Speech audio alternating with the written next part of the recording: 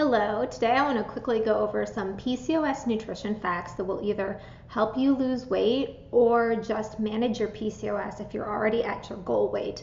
So, if you're a lean person with PCOS and you feel like nutrition advice kind of leaves you out of the picture, this advice won't, but it will also help you if losing weight is a primary goal for you. So, let's get into it. Number one is calories matter. Um, whether you're trying to lose weight or not, you need to be eating the appropriate amount of calories for your goal. I have never come across a PCOS diet in the research where weight loss was achieved without calorie restriction, without being hypocaloric. Now, that means that also if you um, if you have lean PCOS and you don't want to lose weight, you should pay attention to how many calories you're eating so you're not in a hypocaloric state below your daily energy needs. Now, you do not have to count calories, although that can be helpful at times to learn how to eat below your calorie needs to lose weight or to eat at your needs to maintain your weight. If you go to my comments below, I have a downloadable guide for you that gets into some of the finer points of hunger awareness and how to learn to start regulating your portion control and your consumption based off some simple lifestyle tips rather than numbers and calculators. Okay, number two, eating more protein will serve you well if you have PCOS. If you're trying to lose weight, this is particularly important because it's going to help you maintain muscle mass. If you lose muscle mass while you are dieting, which most people do inevitably, um, it will kind of back you into a metabolic corner and force you into a plateau. If you look at the link above, this is my video on plateaus and I explain that in detail.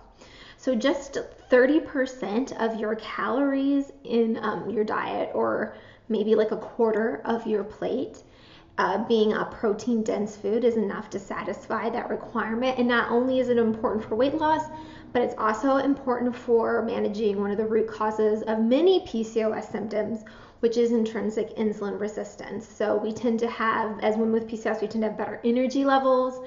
Um, and we tend to have clearer skin, healthier hair, everything if we're eating a diet that um, reduces insulin resistance, whether we're lean or not.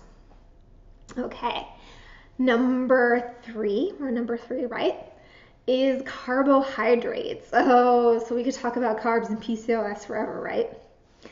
Um, so basically, when you look at all the different types of diets they've researched on PCOS, and most of them, they perform about the same. So that's actually another bonus fact. There's a lot of different diets that work for PCOS according to the research but most of them involve high quality carbohydrates versus low quality carbohydrates. So we're talking about sometimes they're called low GI carbohydrates, but I just like to view them as whole food carbohydrates. So these are plants, root vegetables, and intact whole grains like oats, uh, brown rice, uh, quinoa. Um, those are the kinds of carbs that you should be eating. Fruit is another healthy carb for PCOS. Um, so, whether or not you're trying to lose weight, selecting mostly high quality whole food carbs is going to benefit you, both your skin, your mood, your hair. It's going to help with your insulin resistance, resistance and your gut health. So, eating low quality carbohydrates um, can cause you to have poor gut health, which is a problem, it seems like, in women with PCOS. And though we don't know all of the like, connections to that, it seems as though poor gut health is contributing to inflammation in women with PCOS and um, thus making our symptoms more problematic. So, eating high quality carbohydrates versus lower quality carbohydrates will also improve your gut health, gut health and inflammation. Okay, so now I think we're on to number four, which is that this concept that food allergies are um, common among PCOS women or that there's one type of food allergy or food that we should all be avoiding, that is speculation. That's not a fact. There's just no proof of that. That's not to say that you might not have a food sensitivity that is causing you to be less healthy. You may have a sensitivity to gluten. you might have a sensitivity to dairy, you might have a sensitivity to eggs or soy. Um, but that is an individualized factor. That is not something that has a one size fits all protocol for women with PCOS. There are some blood tests out there to check for um, food sensitivities, but they kind of suck. Um, I wish that they were better than they are, and I think someday that they will be. The research will keep evolving, but right now they're pretty inaccurate. So, one of the best ways to figure out whether or not you have a food intolerance is to just simply cut out the food for at least six weeks and see if stuff gets better. I wish it were easier than that. I wish there was a test, and I think eventually we're going to get there. But right now, most of the tests are pretty inaccurate, especially if you're reading them yourself and not um, going to a qualified health practitioner to read them. Okay, and then the final tip is that restricting your feeding window might be a good strategy for improving a lot of PCOS issues.